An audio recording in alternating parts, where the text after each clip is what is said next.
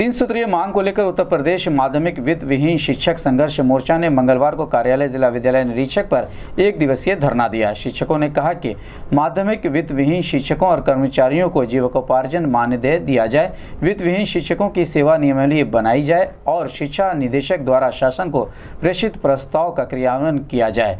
अगर हमारी मांगों को सरकार द्वारा सकारात्मक निर्णय नहीं लिया जाता है तो माध्यमिक शिक्षक संघ मोर्चा 20 नवंबर को विधानसभा का घेराव करने के लिए बाध्य होगा जिसकी ज़िम्मेदारी प्रदेश सरकार की होगी। इस संबंध में गोरखपुर न्यूज़ संवाददाता से बात करते हुए चंद्रभूषण मिश्र ने कहा।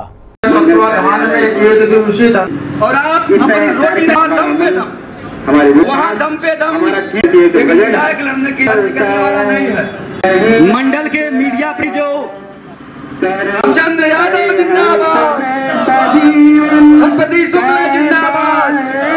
जब तक शिक्षक भूखा हमारी मांगे पूरी हो।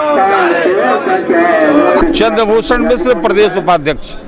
हम आ, उत्तर प्रदेश माध्यमिक वित्त विहीन शिक्षक संघ के विविध घटक संयुक्त मोर्चा के तत्वावधान में जिला विद्यालय निरीक्षक कार्यालय पर यह धरनारत हैं।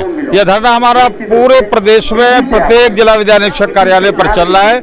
तीन सूत्रीय प्रमुख मांगों को लेकर, जिसमें पहली मांग, जिस 2004 से जिस मांग को लेकर हम संघर्षरत हैं कि उत्तर प्रदेश के माध्यमिक शिक्षा में 80 प्रतिशत योगदान देने वाले साढ़े तीन लाख से अधिक शिक्षक, वित्तहीन शिक्षकों और कर्मचारियों को सम्मानजनक जीविकोपार्जन भर का मानदेय सरकार दे। दूसरी मांग यह है कि इन शिक्षक कर्मचारियों की प्रभावी सेवा नियमावली बनाई जाए।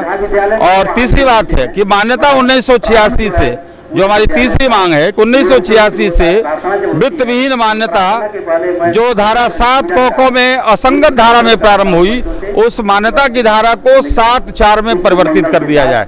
इन तीन मांगों को लेकर के हम आज प्र, पूरे प्रदेश में धरनारत हैं जिला विद्यालय शिक्षक कार्यालयों पर और अगर अब 19 नवंबर तक सरकार ने हमारी मांगों पर सकारात्मक निर्णय नहीं लिया तो 20 नवंबर को हम पूरे प्रदेश के वित्तविहीन शिक्षक विधानसभा का घेराव करेंगे।